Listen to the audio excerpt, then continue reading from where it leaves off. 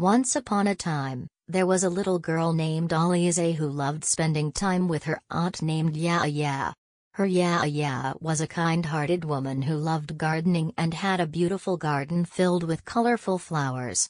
One day, Alizeh's aunt invited her to plant some flowers together in her garden. Alizeh was excited to help, and they began to work together. Her aunt taught her how to plant the flowers, how to water them, and how to take care of them. Alizeh was fascinated by the process, and together they created a beautiful flower bed. As they were planting, Alizeh's aunt told her about the importance of taking care of the environment and the impact of plants on the earth. She explained how plants help to clean the air and provide food and shelter for animals. Alizeh listened intently and felt proud to be a part of something so important. She realized that even as a little girl, she could make a difference by planting flowers and taking care of the environment.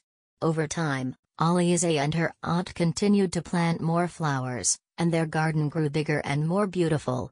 People passing by would stop and admire the flowers, and Alizeh felt proud to have contributed to something that brought so much joy to others. The moral of the story is that even the smallest actions can have a big impact. Planting flowers and taking care of the environment may seem like a small thing, but it can make a big difference in the world. And working together with someone you love can make the experience even more meaningful. Once upon a time, there was a little girl named Ollie.